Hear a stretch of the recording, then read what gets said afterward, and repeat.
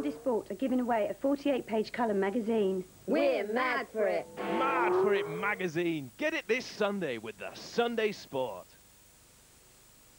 I'm seeing things, seeing things, seeing things. Show yourself that you're not afraid.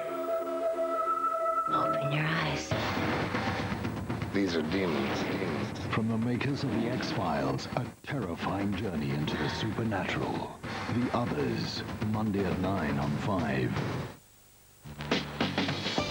Dead men can't talk, but forensic scientists can reveal the truth. Autopsy follows a 5 News update.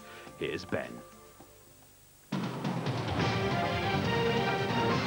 It's 5 to 11, I'm Ben Ando. Air traffic controllers have tonight threatened to strike unless the government changes its plans to partly privatise the service.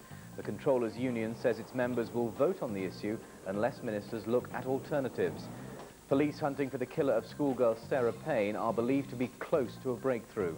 It's thought detectives are on the verge of arresting a 42-year-old man who they've already questioned twice. The appeal fund for victims of India's catastrophic earthquake has reached over £4 million. Today, more planes left Britain loaded with 50 tons of aid. It's going to the hundreds of thousands of people who have been left homeless by the disaster. Five pop wannabes tonight won the chance to become Britain's latest music sensation thanks to the TV series Pop Stars. Millions of viewers tuned in to see the final ten whittled down to five. The official band members are Kym, Suzanne, Danny, Noel and Myleene.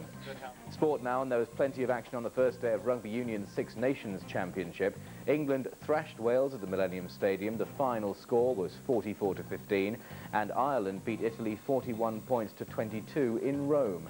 I'll leave you now with tomorrow's weather. There'll be snow showers in Scotland and the north, rainy in the south, temperatures up to 11 degrees. That's it for tonight. We're back tomorrow morning at 10.